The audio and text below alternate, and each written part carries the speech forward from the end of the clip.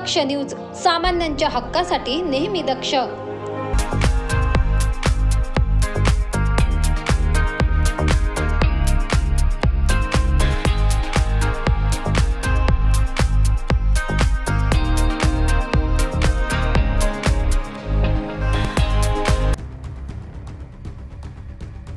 प्लास्टिकमुळे पर्यावरणावर खूप वाईट परिणाम होत आहे. याच अनुषंगाने सरकारने प्लास्टिकवर बंदी घातली आहे. असे असले तरी मात्र नागरिक दुकानदार ही सर्रासपणे प्लास्टिकचा वापर करत असल्याचे चित्र दिसून येत आहे. याच अनुषंगाने मनपा आयुक्त अशोक करंजकर तसेच अतिरिक्त आयुक्त झगडे यांच्या आदेशानुसार घनकचरा व्यवस्थापन विभागाचे संचालक डॉक्टर आवेश पलोड यांच्या पथकाने दूध बाजार येथे कारवाई केली आहे.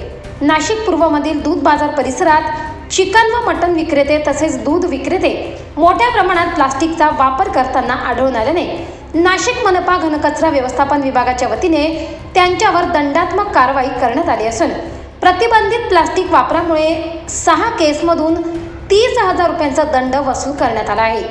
या कारवाईमध्ये विभागीय अधिकारी राजाराम जाधव विभागीय स्वच्छता निरीक्षक सुनील शिरसाट तसेच स्वच्छता निरीक्षक गौतम पवार संतोष गायकवाड तसेच कर्मचारी उपस्थित होते.